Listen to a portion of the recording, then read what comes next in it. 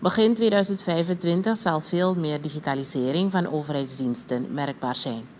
Dit maakte president Chandrika Prasad Santokhi bekend bij de launch van de website van het ministerie van Economische Zaken, Ondernemerschap en Technologische Innovatie. Het staatshoofd zegt dat er onder andere gewerkt is aan digitalisering van verschillende legitimatiebewijzen, waarvan de samenleving in het komend jaar gebruik kan maken.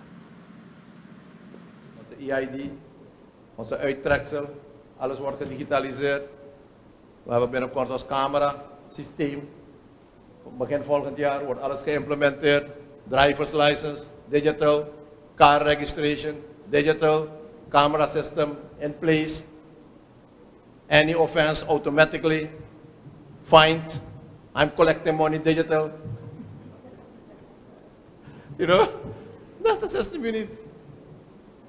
Step by step, we're coming to that destination what we want. De president is verder ingenomen met de digitalisatie van de verschillende overheidsdiensten. Hij vindt dat de verschillende sectoren gebruik moeten maken van de voordelen die digitale opties met zich meebrengen. De regering zal een begin maken met het bouwen van flats om de woningproblematiek aan te pakken. Er zijn al twee locaties in zicht, namelijk aan de Meestraat en Paramaribo Noord.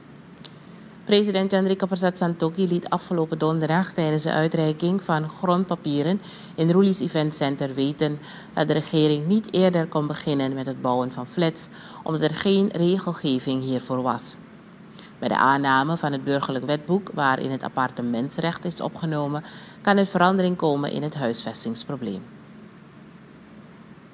En voor de mensen die helemaal niet kunnen betalen, daar heeft minister OWL opdracht gehad om met een andere fonds twee projecten voor te bereiden. En dat zijn projecten om flatgebouwen te bouwen. Drie etage flat, zodat mensen snel geholpen kunnen worden. Mensen die geen woning hebben, woningen zijn brand gegaan, studenten die geen woning hebben, gaat u daar wonen in flatgebouwen.